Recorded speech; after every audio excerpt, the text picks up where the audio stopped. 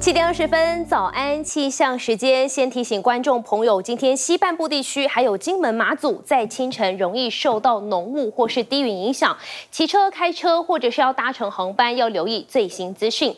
另外，今天天气依旧稳定，但是明天开始有微弱东北季风南下，所以北台湾地区会转为一个稍凉的天气状况。当然，水汽迎风面也会稍稍增加，但是比较集中在像是东半部地区，还有靠近基隆。北海岸一带，另外在大台北的山区，可能也会有一些比较高的降雨机会。只是在平地呢，也许云量稍微偏多，偶尔飘飘雨。整体来说，雨势并不是很大。而新竹以南依旧是多云到晴的天气状况。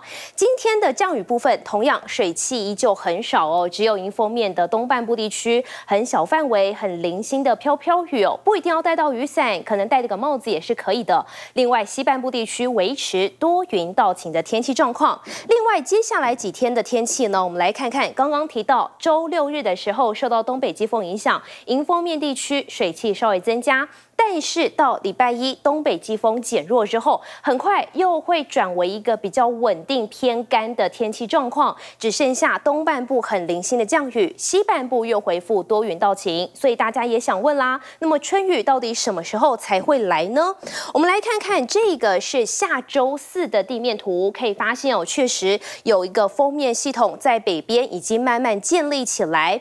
但是会不会为我们带来降雨，就还要看它离我们的距离。当然，如果往南压一点，我们当然就会有受到影响。可是如果它比较偏北的话，也许哦这个雨势就不是那么多。但是依照目前的观测来看，在下个礼拜天，有可能我们可以看到这一张图，也许在整个云嘉南以北地区是有降雨机会的。但因为时间还有点长，所以还要持续的为观众朋友来进行观测。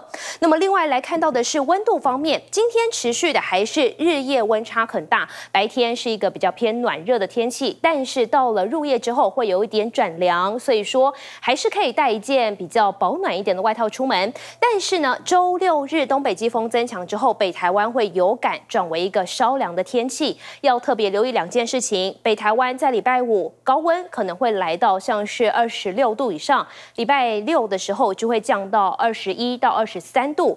这样一来一往就有比较明显的温差，而且呢，在台北。或者是整个北台湾以及中南部地区的一个南北温差也会明显扩大，因此如果这个周末您有要往南或者是往北去扫墓的话，要特别留意温度上的变化了。另外，周六、周日、周一的一个温度也帮您做个同整。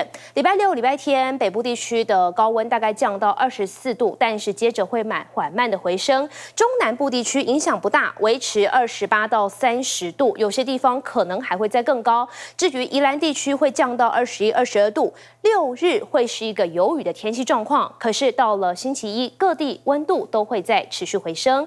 以上是这节的气象，也预祝您有一个愉快的周末假期。